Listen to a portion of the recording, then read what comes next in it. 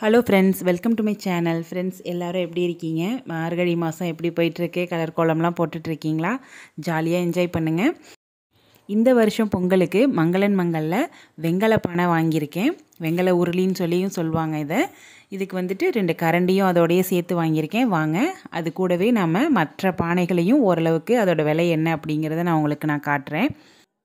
ஆக்சுவலாக பிளான்லேயே கிடையாது. அன்றைக்கி வெங்கலப்பானை வாங்கணுன்ற நோக்கத்தில் போகவே கிடையாது. வீட்டில் வந்து கடாய் எல்லாம் கொஞ்சம் பழசாயிடுச்சு.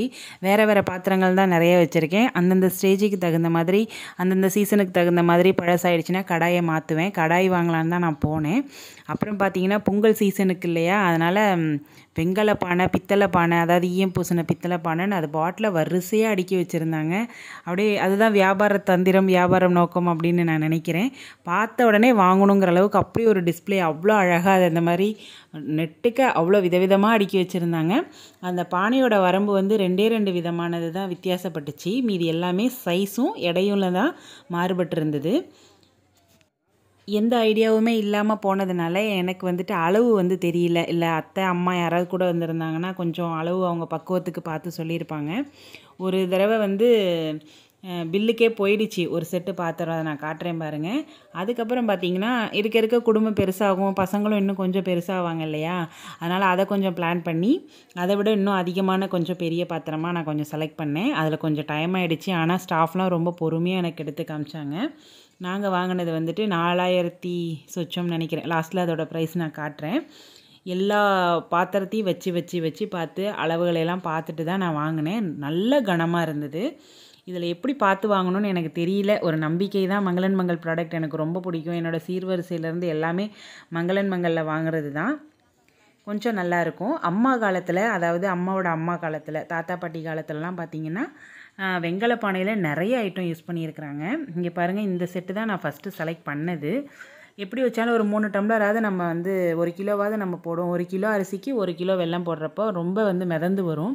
அதனால் சின்ன பானையை ஒதுக்கிட்டு செகண்டு செலக்ட் பண்ணதுன்னு அடுத்து நான் ஒன்று காட்டுறேன் பாருங்கள் அதில் வந்துட்டு மாற்றியாச்சு நான். இப்போ அதை பாருங்கள் மூவாயிரத்தி நானூற்றி முப்பத்தஞ்சு அந்த பானை ரொம்ப அழகாக இருந்தது. எட்டாம் நம்பர் ஒன்பதாவது நம்பர் அந்த மாதிரி நம்பர் கணக்கில் தான் இதை சொல்கிறாங்க இப்போ நீங்கள் எட்டாம் நம்பரில் பார்த்தீங்கன்னா எட்டாம் நம்பர்லேயே வேறு வேறு விலையில் இருக்குது ஏன் அப்படி வேறு வேறு விலையினா வெயிட்டில் வந்து அது கொஞ்சம் கூட குறைச்சா போகுமா? அதனால் வெயிட்டை பொறுத்து தான் காசு அப்படின்ட்டு. இங்கே பாருங்கள் நம்ம செலக்டாக ரெண்டாவதாக செலக்ட் பண்ண பாத்திரம் இது தான் மூவாயிரத்தி தொள்ளாயிரத்தி நாற்பத்தி மூணு ஒன்று நாலாயிரத்தி முந்நூற்றி எழுபத்தி ஒம்பது ஒன்று கொஞ்சம் பெருசாக இருக்கட்டும்னு சொல்லிவிட்டு அந்த ஃபஸ்ட்டு செலக்ட் பண்ணதுன்னு போட்ட அந்த பாத்திரத்தை தவிர்த்துட்டு இதை வாங்கியாச்சு. இங்கே பாருங்கள் விதவிதமாக அவ்வளவு அழகழகாக சைஸ் வாரியாக வச்சுருந்தாங்க. ரொம்ப பொறுமையாக எக்ஸ்பிளைன் பண்ணாங்க. கீழே வந்து தார் மாதிரி ஏதோ ஒன்று ஒட்டியிருக்கிறாங்க. அது வந்து சமைக்கிறப்ப கொஞ்சம் போகும் அப்படிங்கிறாங்க. இங்கே பாருங்களேன் நம்பர் எட்டு நம்பர் ஒம்போதுங்கிறாங்க. நம்பர் எட்டு வந்து வாய்ப்பாடு கொஞ்சம் குறுகலாக இருக்குது நம்பர் ஒம்பது வாய்ப்பாடு கொஞ்சம் அகலமாக இருக்குது அந்த மாதிரி நம்பரில் தான் சொல்கிறாங்க அப்புறம் வந்து மூடி வந்து பித்தளை மூடி கொடுத்தாங்க. நம்ம சூட்டோடு அதை வந்து மூட முடியாதான். ஏன்னா சூடுபட்டால் அந்த பித்தளையிலேருந்து ஒரு மாதிரி பச்சை கலராக ஒரு ஃபுட்டில் வந்து ஃபார்ம் ஆகும் பார்த்துருக்கீங்களா? அதனால் அவங்களே வந்து அதை வேணான்னு சொல்லிட்டாங்க. வச்சு காமிச்சாங்க. வேணும்னா வாங்கிக்கோங்க இல்லைனா விட்டுறலாம் அப்படின்னாங்க. நம்ம சில்வர் தட்டு போட்டு முடிக்கலான்ட்டு நாங்கள் அதை வாங்கலை. மேக்ஸிமம் என்னால் முடிஞ்ச அளவுக்கு பாத்திரங்களோட விலையை வந்து சைடில் கா போட்டிருக்கேன். நீங்கள் பாருங்கள் நல்ல நல்ல பாத்திரமாக அவங்களாவே இந்த வரம்பு கிரம்புலாம் அழகாக வந்துட்டு இருக்கிறதா பார்த்து அவங்களே செலக்ட் பண்ணி தான் எனக்கு கொடுத்தாங்க. இங்கே பாருங்கள் பக்கத்தில் பித்தளை பாத்திரம். பித்தளத்தில் ஈயம் பூசியிருக்கிறாங்க. இது வந்து ஆயிரத்தி இரநூத்தி ஐம்பத்தி ரெண்டு தான்.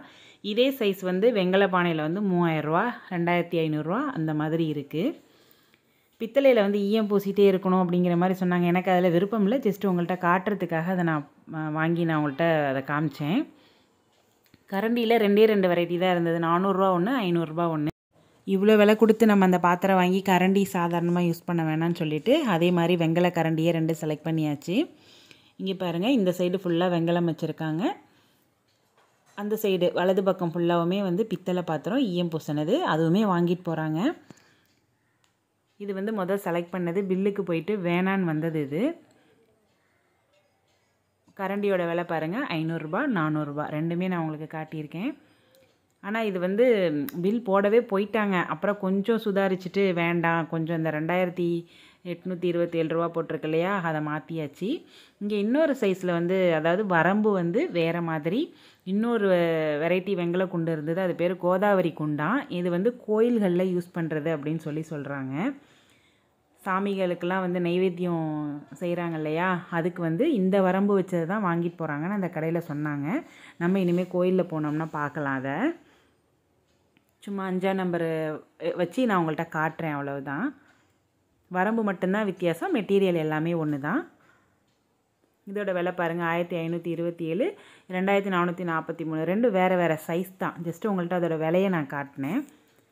இதை வந்து பிடிச்சி நம்ம சாதாரணமாக வீடுகளில் வந்து உபயோகப்படுத்த முடியாது. அந்த வரம்பு கோயில்களெல்லாம் அவங்களுக்கு யூஸ் பண்ண தெரியும். அதனால் கோயில் பர்பஸ் மட்டும்தான் அப்படின்னு சொல்லி சொன்னாங்க. வேணும்னா வாங்கிக்கலாம். இங்கே பாருங்கள் ரெண்டு சைஸில் கரண்டி இது. நான் ஐநூறுரூபா கொடுத்துட்டு ரெண்டுமே வாங்கிட்டேன். ஃப்ரெண்ட்ஸ் இந்த பாத்திரம் கலெக்ஷன்ஸ் உங்களுக்கு பிடிச்சிருக்குதா? நீங்களும் வாங்குறதுனா லைஃப்பில் ஒன் டைம் வந்து வாங்கி வச்சுக்கிட்டிங்கன்னா அது பாட்டில் கிடக்கும். உங்கள் குடும்பத்தோட அளவுக்கு தகுந்த மாதிரி அந்த பாத்திரத்தை நீங்கள் செலக்ட் பண்ணிக்கோங்க. இந்த ரெண்டும் தான் நம்ம ஃபைனலாக வந்து செலக்ட் பண்ணியாச்சு. நாலாயிரத்தி முந்நூற்றி எழுபத்தி ஒம்பது மூவாயிரத்தி எழுநூற்றி எழுபத்தி நாலு ரெண்டும் சேர்த்து நெருக்கி எட்டாயிரம் அப்புறம் கரண்டி ஒரு ஆயிரம் ரூபாய் ஆயிடுச்சு. ஒம்பதாயிரத்தி சொச்ச ரூபா போட்டு நம்ம வெங்கல பானை வாங்கியாச்சு. நம்ம வந்து வாங்கினதுக்கு வந்து பதட்டப்படுறதா சந்தோஷப்படுறதானே தெரியாத ஒரு மனநிலையில் சரி ஒரே ஒரு கடாய் கண்டிப்பாக வேணும். அதனால் அதை வாங்கலாம் அப்படின்னு சொல்லிட்டு அலுமினிய செக்ஷனில் வந்தேன். அலுமினியத்தில் வந்து இண்டாலியம் வாங்கலாம் அப்படின்னு நினச்சேன். அந்த பைசா வந்து கொஞ்சம் ஷார்ட்டேஜ் ஆகிடுச்சு அதனால் ஒரே ஒரு பாத்திரம் மட்டும் வாங்கிக்கலாம் அப்படின்னு சொல்லிட்டு மற்ற பாத்திரத்தெல்லாம் சும்மா எடுக்கிறப்போ உங்களுக்கு ஒரு சின்ன ஒரு வீடியோவாக அதை நான் கொடுக்குறேன். ஃப்ரெண்ட்ஸ் அது மாதிரி வெங்கல பாத்திரம் யூஸ் பண்ணுறப்ப கொஞ்சம் கேர்ஃபுல்லாக தான் ஹேண்டில் பண்ணணுமா? ஏன்னா கைத்தவறி கீழே போட் போட்டு விழுந்துடுச்சுன்னா அது வந்து அவ்வளோ நல்லதில்லைன்னு சொல்கிறாங்க ஐதீகப்படி. அப்புறம் கீழே விழுந்தால் உடஞ்சிரும் அப்படின்னு இல்லை வீரல் விட்டுருமா? அதனால் அதை எதுவுமே பண்ண முடியாது. மற்றதை கூட பற்ற வைக்கலாம். இல்லை ஏதோ ஒன்று அதை வெல்டு வைக்கிறதுக்கு ஏதாவது பண்ணலாம். வெங்காயத்தை பொறுத்த வரைக்கும் அதை போட்டுட்டு வேறு தான் எடுக்கணுமா? அதனால் நல்லா கவனமாக வாங்கினீங்கன்னா பொறுமையாக யூஸ் பண்ணுங்கள் பக்குவமாக யூஸ் பண்ணுங்கள் அதை வந்துட்டு நார்மலாக நம்ம சமைக்கிற முறை மாதிரி தான் வேறு எந்த ஒரு ஸ்பெஷல் வந்து எஃபர்ட்டும் அதுக்கு போட தேவையில்லை அப்படின்னு சொல்லி சொல்கிறாங்க அம்மாவும் அதை தான் சொன்னாங்க. கொஞ்சம் கவனமாக யூஸ் பண்ணணும். அவ்வளவுதான். கீழே விழுந்துச்சுன்னா பானை மாதிரி உடஞ்சிரும் அப்படின்னாங்க. ஆனால் கடைக்காரவங்க அப்படிலாம் உடையாது. வீரல் கண்டிப்பாக விழுவும் நம்ம எதுக்கு அவ்வளோ ஹைட்லேருந்து போட போகிறோம் இருந்தாலும் கை தவறி எதுவும் போட்டுறாமல் ரொம்ப கவனமாக வாங்கினீங்கன்னா யூஸ் பண்ணுங்கள் ஃப்ரெண்ட்ஸ் இந்த வீடியோ உங்களுக்கு பிடிச்சிருக்கும்னு நினைக்கிறேன். பிடிச்சிருந்ததுன்னா கண்டிப்பாக கமெண்ட் செக்ஷனில் சொல்லுங்கள் நம்ம செலக்ட் பண்ண பாத்திரத்தை வந்து பேக்கிங் செக்ஷனில் வந்து பேக் பண்ணிகிட்ருக்காங்க அவ்வளவுதான் ஃப்ரெண்ட்ஸ் எனக்கு ரொம்ப நிறைவாக இருந்தது அன்னைக்கு நாள். ஐடியாவே இல்லாமல் போய் வாங்குகிற சில பொருள் வந்து காலத்துக்கும் நமக்கு நிறைவே கொடுக்கும் இல்லையா? அந்த மாதிரியான விஷயமா இது ஆகிடுச்சி பார்க்கலாம். இதில் எப்படி சமைக்கணும்னு எனக்கு எந்த ஐடியாவும் கிடையாது. பொங்கல் இந்த தடவை இதில் தான் வைக்க போகிறேன் அளவும் எனக்கு தெரியாது.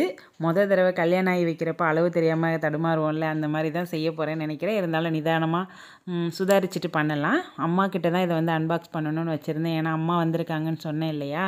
அவங்க தான் பிரித்து பார்த்தாங்க. அவங்க அதை பிரித்து பார்க்குறப்ப அவங்களோட அந்த பழைய காலத்து நினைவெல்லாம் சொல்லிவிட்டு அவ்வளோ சந்தோஷப்பட்டாங்க. ஏன்னா அந்த காலத்தில் வந்து நிறைய வெங்கல பானை வந்து யூஸ் பண்ணியிருக்காங்க. என்கிட்ட அதோட நினைவுகாக ஒரே ஒரு கிண்ணம் கொடுத்துருக்காங்க. அதை நான் வந்து பூஜை அறையில் உருளியாக யூஸ் பண்ணுறேன் நான் அடுத்த பூஜை ரூம் ஏதாவது காட்டுறப்ப நான் அதை உங்கள்கிட்ட காட்டுறேன். அவ்வளோதான் ஃப்ரெண்ட்ஸ் ஃப்ரெண்ட்ஸ் இந்த பாத்திரம் கலெக்ஷன்ஸ் உங்களுக்கு பிடிச்சிருக்கா? இதை பற்றி நீங்கள் ஏதாவது சொல்ல விரும்புகிறீங்களா இல்லை என்கிட்ட ஏதாவது கேட்கணும்னாலும் என்கிட்ட கேளுங்க.